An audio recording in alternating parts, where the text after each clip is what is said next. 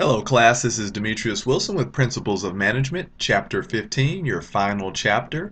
You are home now. Uh, we will speak about strategic human resource management, very important in your organization. Some of our learning objectives, understand the scope and changing role of strategic human resource management in Principles of Management, uh, understand key elements in the war for talent, and yes, there is a war for talent. Uh, engage in effective selection and placement strategies. Understand the roles of pay structure and pay for performance. Understand the components of high performance work systems. Understand or use the human resources balance scorecard, which we talked about uh, in the last chapter, uh, to gauge and proactively manage human capital, including your own. As always, we go through our framework, and you see we're here with strategic human resources uh, all the way at the end, uh, going through planning, organizing, leading, and controlling. And that's what uh, the basis of management is.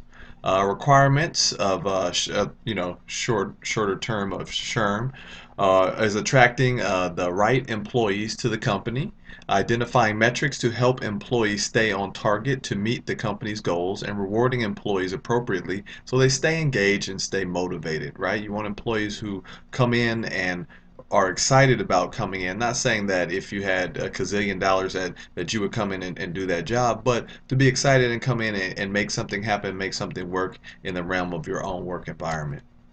HR is a strategic partner, as these days they're no longer just uh, doing simple hiring and, and firing and things of that nature. Uh, they're a strategic partner with management now. Organizations that value their employees are more profitable than those that do not, and this is true. All managers and executives need to be involved uh, because the role of human capital is so vital to the company's competitive advantage, and we'll watch some videos on that. Uh, when organizations enable, develop, and motivate human capital, they improve accounting profits as well as shareholder value in the process. Um, so HR is a strategic partner. Uh, also, you have to talk about competence. Uh, to what extent does our company have the required knowledge, skills, and abilities to implement the strategy? Do we have the right people, uh, the right uh, materials, the right resources in order to do this? Consequence, uh, to what extent does our company have the right measures, rewards, incentives in place to align people's efforts with the company strategy? You know, a lot of companies, uh, when new management comes in, they say, you know, we really need some type of um, uh, incentive plan uh, to, to incentivize our employees. Uh, governance, to what extent does our company have the right to structure communication systems and policies to create a high performing organization? Uh, some people say, oh, well, I don't like that they know what I send in my emails. Well, you know what? It's their property. Uh, you're working for the company. I'm sure you signed something that said you wouldn't do certain things, but after you've been at a company for a while, then people think that, you know, you should have they you know it's their liberty it's their right to do certain things. Uh, so you know what i always tell people is to go back to the mindset that you had when you first got that job and how excited you were about having that opportunity. Uh, learning and leadership uh, to what extent can our company respond to uncertainty and learn uh, and adapt to change quickly right? Uh, being able to move quickly on your feet uh, is, is a, a, big component of, of to being able to, to work and maneuver around today's corporate environment a company's human capital asset is the collective sum of the attributes, life experience, knowledge, inventiveness, energy, and enthusiasm that its people chosen to invest in their work. Uh, that that comes from the Society of Human Resource Management Research uh, Research Quarterly. Um, and so th these are pretty good. Uh, HR is a strategic partner. Let me enlarge that uh, just so we kind of breeze through it a little bit. So you have selection and placement, right? Selecting selecting the right individual for an organization is critical uh, to human resource tasks. Thoroughly considered using selection process, right? So you, you if you get the wrong person, you're going to basically waste money right? Uh, and you have to place that that correct person that you get in the right position. Job design uh, refers to the process of putting together various elements to uh, form a job bearing in mind organizational and individual worker requirements as well as considerations for health safety and ergonomics right? So you have to design the job appropriately right person right job correct resources and environment around them. Compensation and rewards, uh, how organizations pay employees represents one of the most tangible elements of human resource management. Such rewards can be found in real estate companies that highlight uh, commissions earned by their employees, right? And then these other things come into play. Uh, are you doing the things that are most ethical in order to get those commissions? Um, diversity management. Uh, so diversity goes far beyond the idea of avoiding discrimination and involves actively appreciating and using the differences and perspectives and ideas that individuals bring to the workplace. So it's not just about, hey, we don't want to get sued, so let's get some other type of people in here. It's about, you know, bringing in new great ideas from uh, different avenues that you might not have thought of. So discussion questions, uh, as always, those are great. for right there. Uh, discuss them uh, with your peers, with your parents, whoever you like to discuss them with. The war for talent uh, refers to competition among organizations to attract and retain the most able employees. Uh, and it, you know, it, it's kind of crazy because those individuals that uh, that these employers are after, they have a lot of decisions, and sometimes that can affect the turnover rate. Because as soon as something goes wrong, they say, "Hey, you know what? Uh, I can go over to, to Joe Schmo's company, and uh, he said he's going to treat me a little bit better." So talent management, anticipating the need for human capital and setting the plan to meet it. Uh, so you have succession planning, right? So uh, what if a vice president becomes a president? Then who fills that person, that void right there? Uh, succession planning ensures that employees are recruited and developed to fill each key role within the company, right? So every key role, uh, we have someone uh, that's kind of coming up the pipeline uh, to fill those shoes attracting the right workers uh, to the organization. The organization must be clear about the type of employee it wants. Don't settle. If you settle, you will not get the right person. Employees' goals and aspirations should match those of the company. Uh, you know, I know a guy and he was a president of a company and he said that he used to not hire talent that he thought could possibly be better than him. But later on in his career, he realized that he should get people that were that he felt were better than him. Uh, not that they were going to take over, but they were going to be the ones that would strengthen the organization. So signature experience is the distinctive practice that shows what it's really like to work at a company. At Whole Foods, for example, team-based hiring is a signature experience. Employees in each department vote on whether a new employee will be retained after a four-week trial period. This demonstrates uh, to potential hires that Whole Foods is all about collaboration. And that's a lot of collaboration. Uh, you know, if somebody just woke up on the bad side of the bed and and uh, said, you know what, I don't like that person, I'm going to vote them out. So, uh, but that that you know, you could tell that Whole Foods, and if you've been to a Whole Foods, you know that they have the right type of environment, they have the right right type of people uh, around them. So, uh, so I'm, I'm sure it works for them and retaining star employees. So you can't just keep get these star employees. You got you have to keep them. Uh, what assignments have you found uh, most engaging? These are some of the questions you can ask. Which of your accomplishments in the last six months uh, made you proudest? And uh, what makes for a great uh, day at work? Right. So you want to retain these star employees. You don't want to let them go. Those uh, bottom feeders, you want to you want to let them go ahead. If they want to leave, hey, knock yourself high five. I had a young lady who, uh, you know, she said she got another offer, right? She had been looking for a while and uh, wasn't especially, you know, uh, jumping up and down about her performance. And she said that she was going to leave, and she expected that I would, you know, match uh, offer or something like that, or try and keep her stay. But uh, no, not going to match any offer. I'd love to see you go. Um, so give employees what they want. Uh, connect people with mentors and uh, help them build uh, their networks. Uh, successful managers uh, dedicated 70% uh, more time to networking activities than their less successful counterparts. So if you're managing people, think about that. help connect people with a sense of purpose. younger workers rank meaningful work and challenging experiences at the top of their job search list. Social networking as a career building strategy. Social networking should be a central element in any job search strategy. Many jobs are filled by knowing someone who knows about an open position, so it's important to network. And I don't know the exact number, but I know it's in the 80 percentile that uh, of jobs that, that come from people who know people within the company. You have a three talent uh, management practices, uh, create a globally consistent talent evaluation process, achieve cultural diversity in a global setting, and develop and manage global leaders, right? So just like McDonald's, McDonald's is made the same way in China as it is, as it is in, um, in Artesia or Cerritos or Norwalk. More great discussion questions. Love them. Enjoy them but they will be your last, so I'm sure you'll miss them.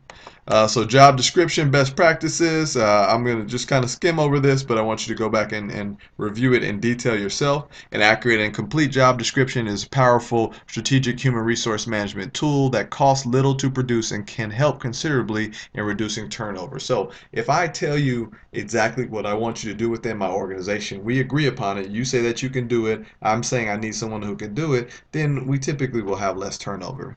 Uh, tailoring uh, recruitment and selection to match company culture, right? We need the right type of people in our company. Uh, we don't need, uh, like say for Google, happening, you know, fun, energized company. We don't need any fuddy-duddies. Uh, tools and methods, uh, interviewing and testing, right? So different types of interviews. Eh, so many different ways uh, for people to interview. Um, you know, I've interviewed with multiple people and they all have their own different style. Uh, but uh, one thing that's consistent in different well not always consistent but I mean consistent in wherever it is is is testing. Like so if you take I've taken the Wonderlic test uh, to become employed at, at uh, certain companies and uh, the test is consistent right? Uh, so if you take it for ABC company or XYZ company it's going to be the same test.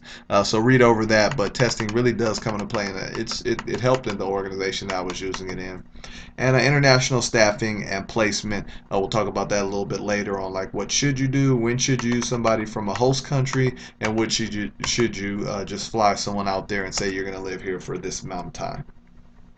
So write an effective job description, kind of breeze through these, but I want you to go back and kind of Read them and let it sink into your brain. You want to list the job requirements in bullet form for quick scanning. Use common industry terms, not uh, your, your jargon from within your company.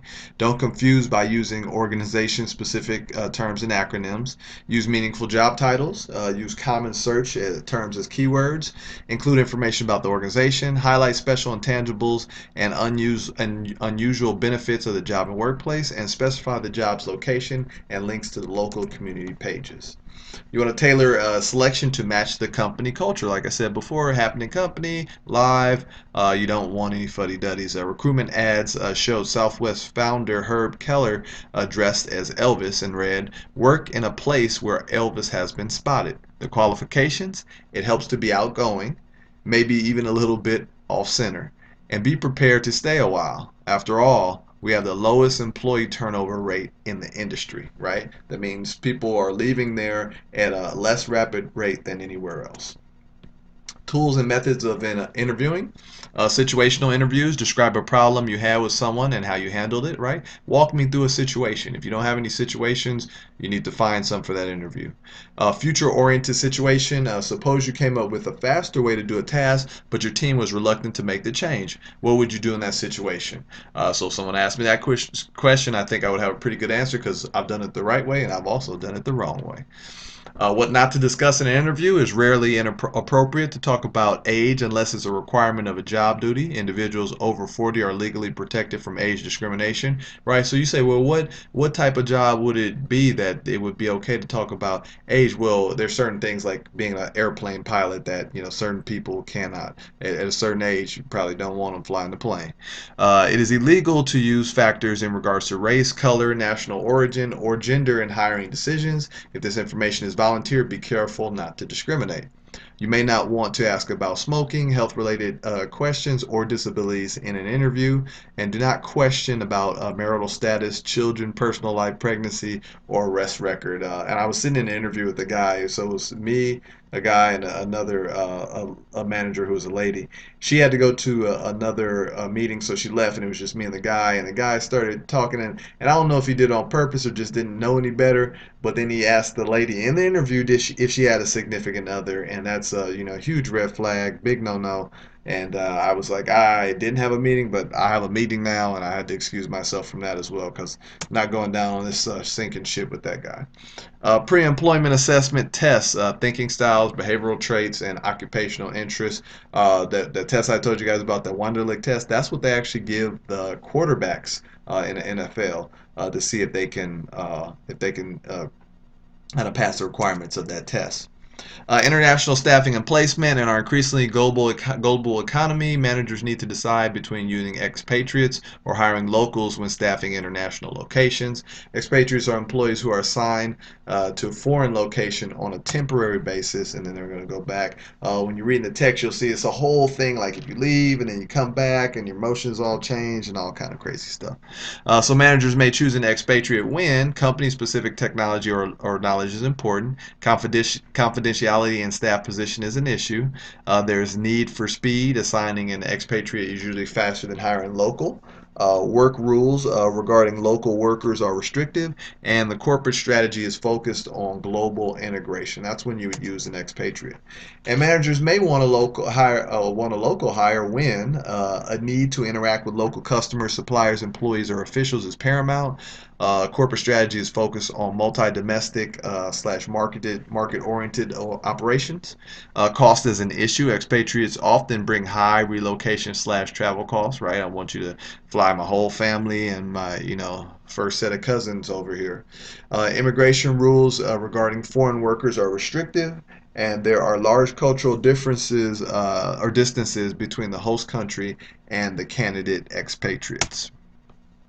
So relocation amongst uh, graduates in the United States. So people, when they graduate from college, they just say, you know what, I'm going wherever I always wanted to go.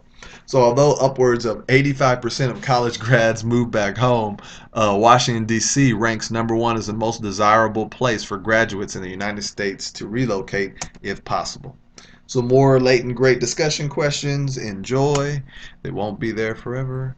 Uh, the roles of pay structure and pay for performance. Pay can be thought of in terms of total compensation packet that includes the individual's base salary, so how much you get paid, variable pay like a bonus, share ownership, and other benefits, including your health uh, and dental benefits. That is actually pay, and you'll see how it's kind of uh, fed into what you what you truly make. Um, so let me increase this just really quick. So non-monetary pay description includes benefits that do not involve do not involve tangible value such as desirable location, right? Uh, so may not be non-monetary, right? But if you're at a desirable desirable location, maybe closer to home, may not have to go that far, may be able to walk. Think about it.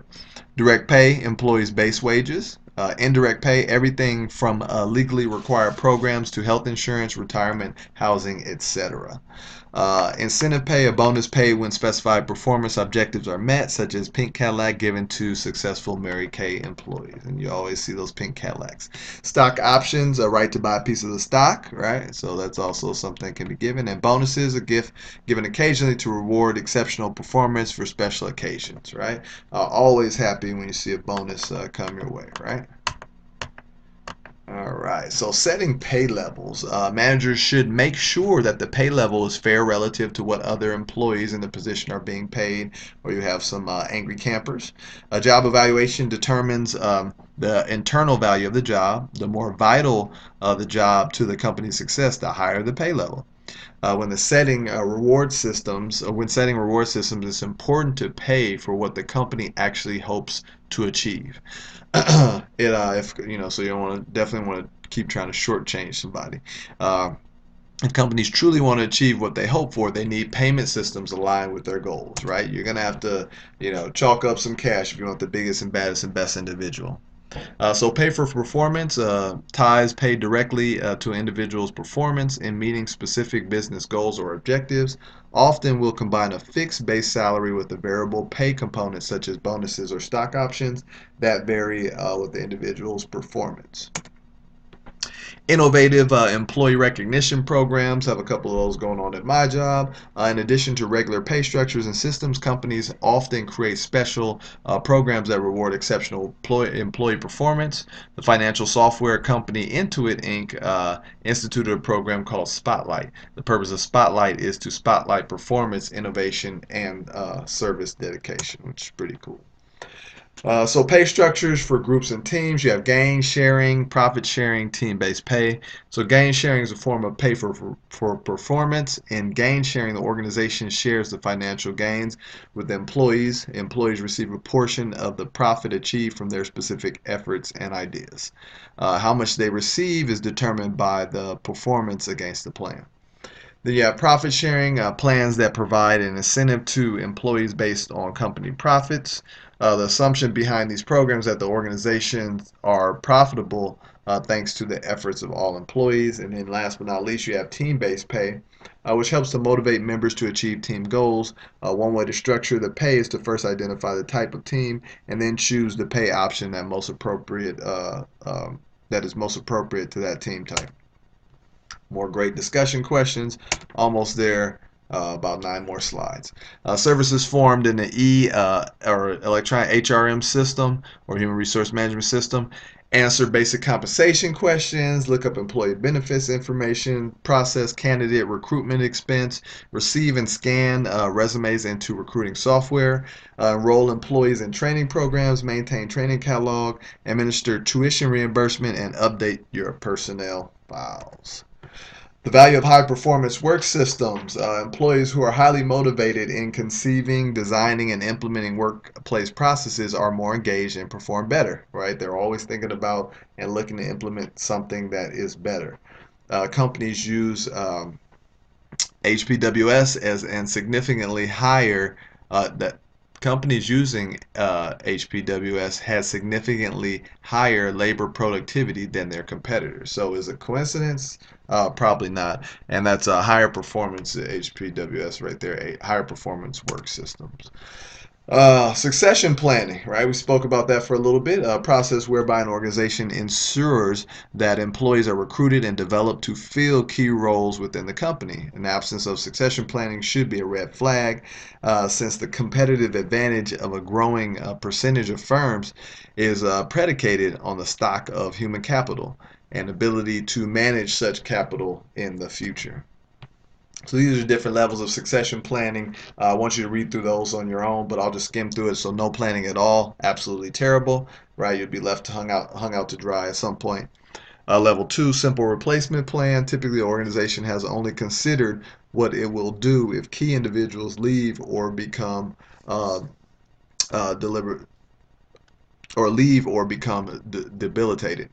Uh, level three, the company extends the replacement plan approach to consider lower level positions, uh, even including middle managers. Level four, the company goes beyond the replacement plan approach to identify the competencies it will need in the future. Most often, this approach is managed along with uh, uh, promote from within initiative, right? So some companies only promote from within. If you look at uh, Costco, they're one of the ones. Um, uh, that that strictly promote from within. They typically don't get a manager from the outside. And level five, in addition to promoting from within, the organization uh, develops the capability to identify and recruit top talent externally. However, the primary source of successors should be from within, unless there are key gaps uh, where the organization does not have capabilities. Right. So once you check all these out uh, in detail and kind of think, what do you think happens in your organization, or what have you seen happen in the past? Uh, more great discussion questions. Uh, what are some of the ways HR can improve organizational performance? So think about these. It will really help you uh, later on in life and even today. Uh, applying the balanced scorecard method to HR, uh, workforce mindset and culture, your workforce competencies, leadership and workforce behaviors, and workforce success. Uh, so all that to say that you form this bridge. So those four right there forms a bridge between best practices and strategic uh, human resource management to an organization's uh, balance uh, scorecard. Right, there always has to be a bridge uh, to uh, form a bridge to to ensure success. Uh, then the payoff. It's always about the payoff. companies that measure intangibles such as employee performance, innovation, and change performance better financially than companies that don't uh, perform better, better financially than companies that don't use such metrics, right? So if you don't measure even the, the intangibles, uh, you're not going to do as good as those other companies. And balance scorecard and human capital. So what's your what is your mindset and values? Do you understand the organization strategies and embrace it? And do you know what to do in order to implement the strategy? Uh, what are your work related competencies? Do you have the skills and abilities to get the job done? Uh, what are the leadership and workforce behaviors? If you are one of the leaders, are you are you behaving strategically? And your success, can you tie your mindset Um, can you tie your mindset, values, competencies, and behaviors to the organization's performance and success? And you should be able to. Uh, last but not least, the great uh, end uh, slide 49 discussion questions. Define the balanced scorecard method. List the elements of a workforce uh, scorecard. Go through those. Learn from them take your final tests and uh, you'll be done with me. So uh, that's chapter 15. That's all the chapters in the book. I know we've covered a lot, uh, but I think we've also learned a lot along the way. As always, have a good day and a great week.